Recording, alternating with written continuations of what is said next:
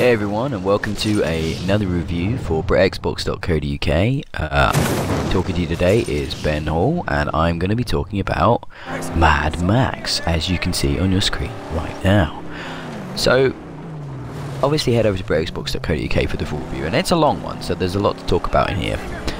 But I want to talk about Mad Max and how this is a really cool game, a really fun, exciting, action-packed experience that's possibly been released at the worst time of year. If this game had come out three months earlier, right in the middle of the summer or the early part of the summer, it would have had loads of attention, loads of people talking about it, playing it, getting excited. Around the time the movie Fury Road had come out, things like that, it would have been huge. But instead, it's been released at the same time as the Blu-ray in the US, but not in the UK or Europe. And it's come out on the same day as Metal Gear Solid 5, one of the most hyped and critically acclaimed games of this generation so far.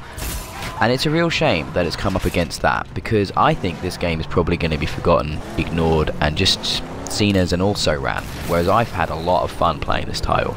The premise is a simple one. So you're Mad Max, the eponymous hero that you know from the films uh, created by George Miller and obviously popularized this year by Fury Road. Um, and Max is a tortured individual. And in this game, right at the start, you lose your black on black, your famous interceptor. So due to that, you meet this character, Chumbucket, who becomes your sidekick and helps you build up a new car to conquer the wasteland and hopefully escape the insanity that surrounds your life and your existence. That's kind of it. Throughout the game you meet a lot like a, a really diverse, fun and exciting cast of characters, though the story doesn't really take off until the last half or the last third of the game.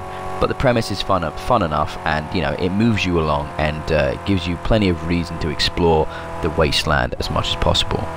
What I found with Mad Max, uh, after of course I reviewed Shadow of Mordor and Arkham Knight this year, is that Warner Brother have become the sort of premier publisher for the open world experience.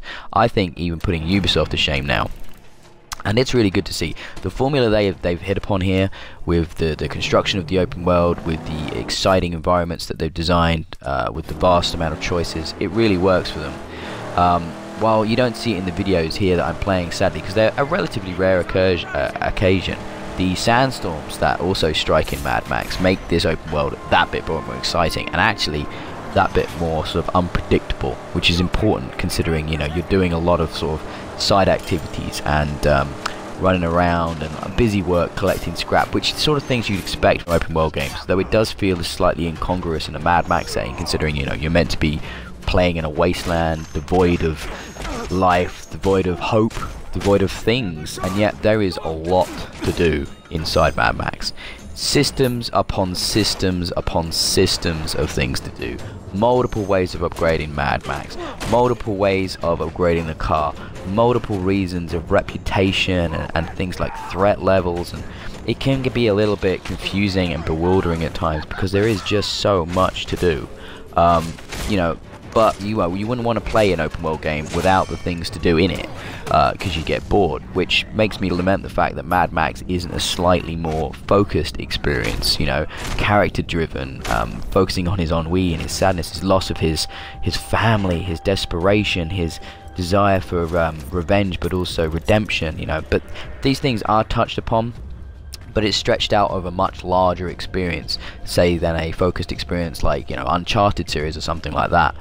As you can see in some of the videos, I spend a lot of time just looking for scrap. Every area you go in, you need scrap. Scrap's your currency. It's part of the systems that I was talking about earlier. Without scrap, you can't do anything. So you're constantly hunting for it to upgrade and make Mac Max more of a badass.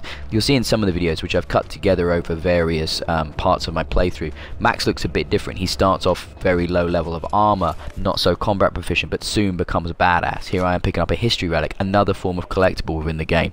These things um, add a little bit of flavor and color to the world before the wasteland, which I think is a really nice touch. And again, feels very true true to Mad Max. Because while Mad Max is a game set in George Miller's universe, it's not an adaptation of any of the specific films. It's more like inspired by, much like Warner Brothers have done with the uh, Batman franchise and with the um, Lord of the Rings franchises and licenses. They've been able to sort of take their own directions uh, with these very talented studios um, and you know create something new. I really like that idea. Now, I've moaned about systems, but one of the things I've absolutely love in Mad Max are the two most important things, and the things that elevate this game and pull it out of what could be sort of a, an open world mediocrity. It's the combat and the driving. I love the feel of the combat in this game. While it's instantly familiar to those that have played Arkham Knight, say this year, you know, the counter and strike system, it feels weighty, it feels brutal. And unlike Batman, you have no problem with brutally murdering your foes, and you will do this a lot.